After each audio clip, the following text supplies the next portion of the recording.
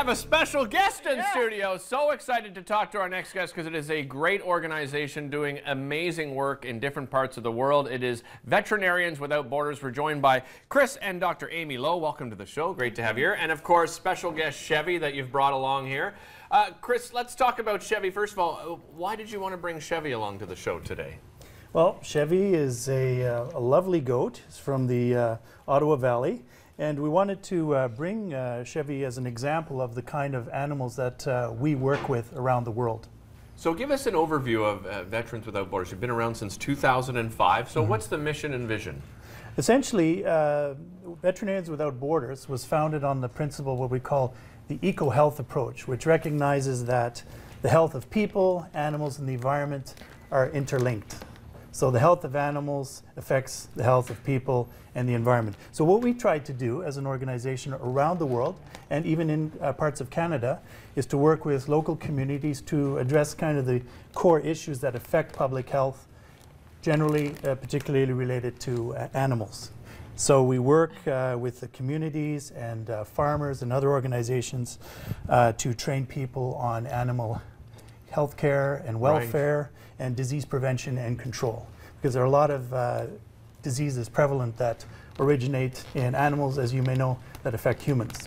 And you've seen firsthand some of the, because you've traveled around the world. Yeah, so as a vet student, I was able to go to India with two other veterinary students. Um, we worked with an organization called Marwar Animal Protection Trust. So Okay. we did rabies vaccination and sterilizations for dogs. Um, about 50 to 60,000 people die every year in India from rabies. It's mostly Really? children under the age of 12, Wow. um, and mainly due to dog bites. So it's it's in the dog population, um, goes to humans through dog bites. So it's a really important organization to to help with that. How well are you received when you when you go down and you start working with these local communities? Very well, yeah. Yeah. Because I mean, a lot of there's there's really no access to animal health services there. So we're going in and we're providing these services, um, and they also do. The organization I worked with um, does education in the schools on dog bite prevention. So I was able to go to some of the elementary schools where they talk about dog bites. They do puppet shows um, and Oh, also kind of cartoon books to show the importance of um, of being being safe around dogs and that kind of thing. So yeah. And how do you choose where you go in the world with your organization?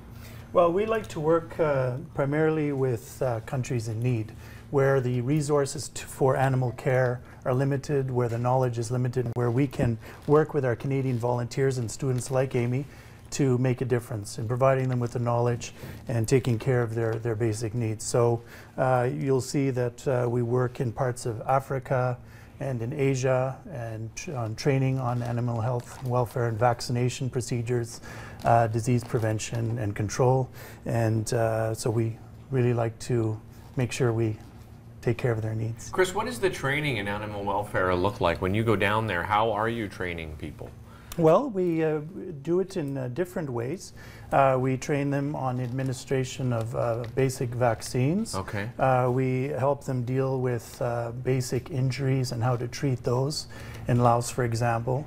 Uh, some livestock, uh, such as, uh, as, as Chevy here, in many countries they suffer from uh, diseases like injuries in the foot and so forth. So we help people uh, and train them in that prevention and, and that treatment, and also uh, in preventing the spread as well. So by taking Right. care of the animal, then they prevent the spread to other animals. It's important to note that like 70% of diseases that affect humans now have their origin in animals.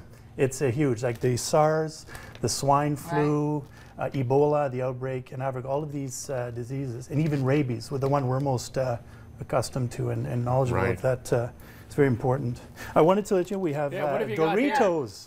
Yeah, These what- are. Uh, what's with the training? I We was going to couldn't- ask you. well, Dori- Chevy loves Doritos. Really? Absolutely. So you're welcome to try and uh, feed. uh, Okay, yeah, let's Chevy. feed Chevy. So, is this part of his regular diet, Stephanie? Yes. Oh, that's these are, just a these treat. are floor diapers as a precaution. We Oh, tried to I find see. large ones, but uh, big never hips, know, big right? Hips, big hips couldn't fit. Oh, yes. Oh, Chevy loves those for sure. Yeah.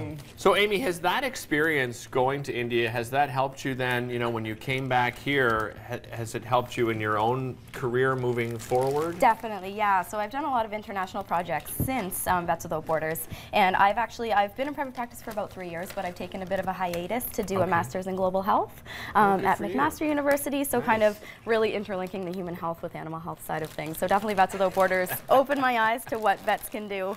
You're not going people. fast enough, Shelley. Hang on, Chevy, hang on. It's a good thing we have a big bag, yeah.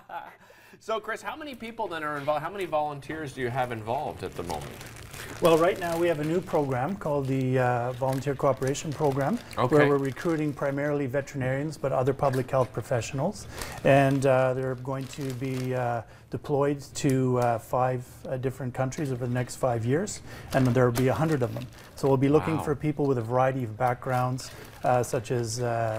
Amy's with uh, veterinary medical background, but also you know agricultural production in other areas.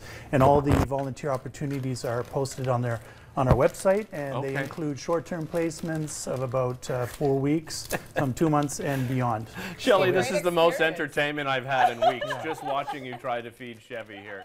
So, are, are, gentle. are most of the volunteers from Canada, or have you expanded outside of Canada? Or any plans to do so? Well, we um, work primarily through through Canadians Okay. as part of our uh, arrangement with our with our donors. Now, what about funding? Where does your funding come from? Our funding uh, comes from a variety of sources, primarily from the Government of Canada, Okay. uh, Department of Foreign Affairs, Trade and Development. We also have some initiative with the Canadian Food Inspection Agency, which also deals with uh, animal health.